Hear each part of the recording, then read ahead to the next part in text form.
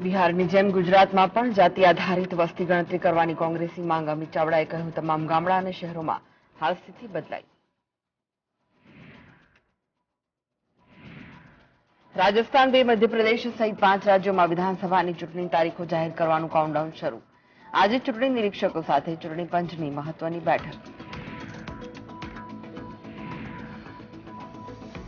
ભાજપે રાહુલ ગાંધીને નવા જમાનાના રાવણ ગણાવતા છંછેડાયો વિવાદ પોસ્ટર શેર કરીને કહ્યું, આ દુષ્ટ ધર્મ અને રામ વિરોધી દેશને બરબાદ કરવાનું એકમાત્ર લક્ષ્ય.